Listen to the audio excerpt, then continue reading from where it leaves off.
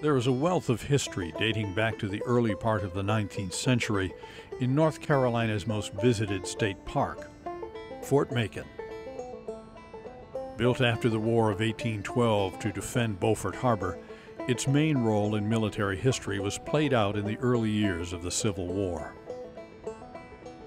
North Carolina forces captured the fort on April 14, 1861, more than a month before our state seceded from the Union. One year later, federal forces were able to conduct a successful siege and recapture it. What visitors see today is a remarkably well-preserved example of this type of fort. This is one of the few surviving examples of forts that have retained their character as when they were built.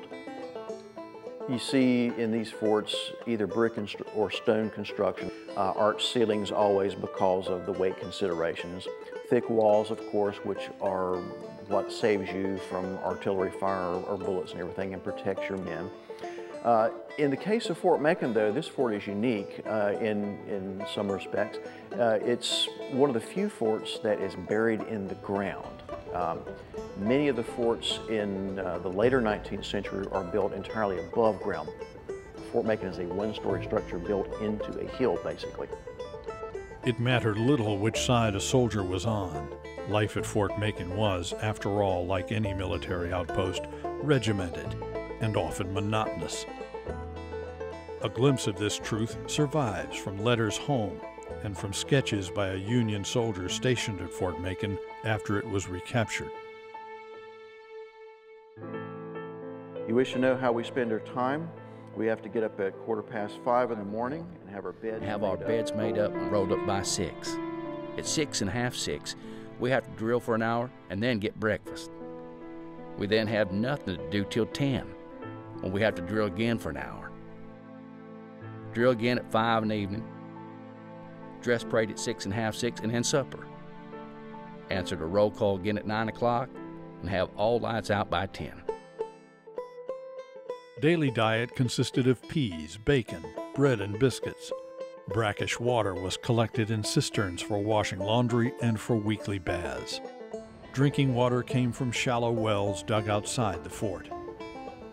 Enlisted men slept in bunk beds, two to a bed. Officers had a bit better quarters. But outside the military routine, there was often little to do. When I'm not drilling, I'm generally sleeping, reading, or studying military tactics. On Sunday, we have no drills and generally have preaching once, sometimes twice. I spend the day generally in reading Spurgeon's sermons or the Bible or sleeping. The salt air makes me feel sleepy nearly all the time. I keep a regular journal every day.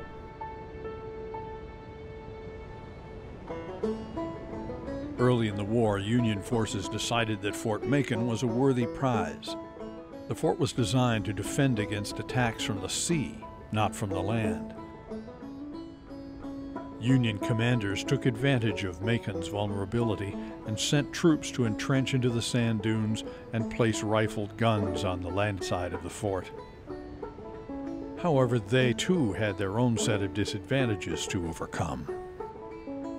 As it turned out, the Confederates uh, burned the railroad bridge New, over the Newport River between here and New Bern, and until that bridge was repaired, uh, the Union forces couldn't get their baggage and equipment down here. So that was a big setback.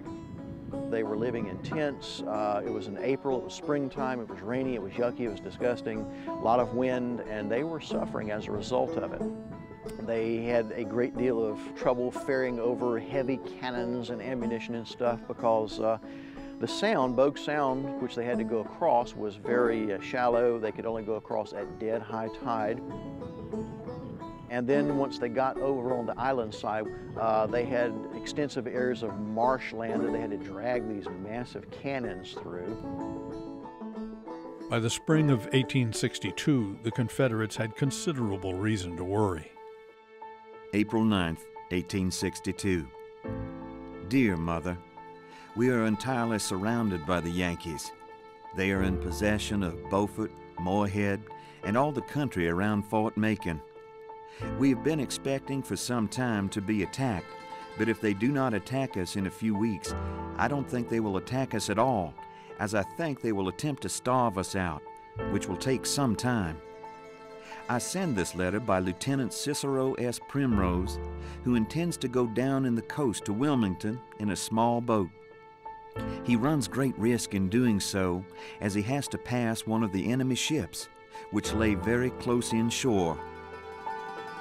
But as he is going to leave here in the night, he may be able to pass the Yankee ship without being seen. Give my love to all my relations and friends. I am very well.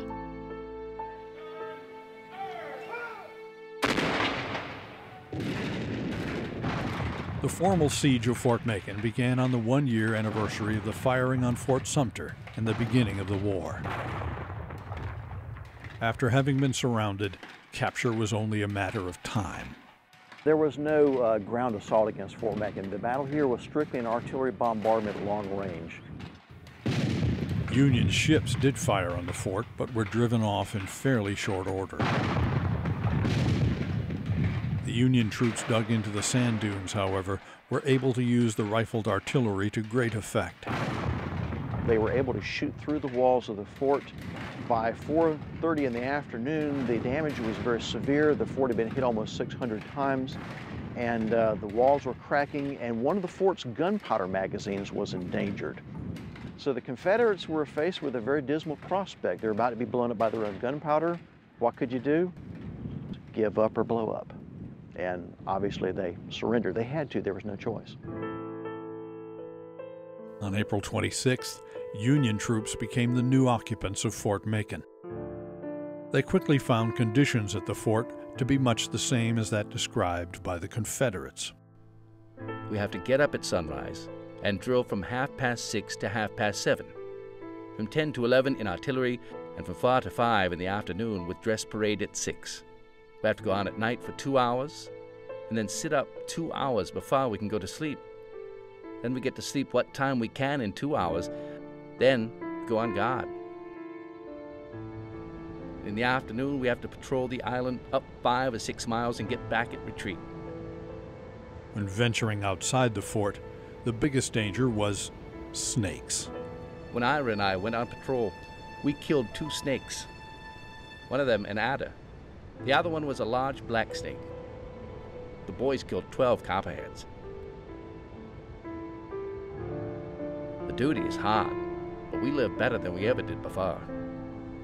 We have soft bread nine days out of ten, and it's tip top bread, baked here in the fort, and we get it warm. Fort Macon's fall helped to mark the end of brick and masonry forts made obsolete by the use of rifled weapons which could breach their walls. Nothing like Fort Macon was ever built again, and this intriguing place remains a window into a time gone by. When you come here to Fort Macon, you have to look at these walls and think of all the things that have gone on here. You can try to imagine, man, if I was a soldier here, this is what I had to live in. This is how I would have lived because of this, uh, that's why we have the life that, and the freedoms and everything that we do today. That's what I hope people will take away when they come visit Fort Macon.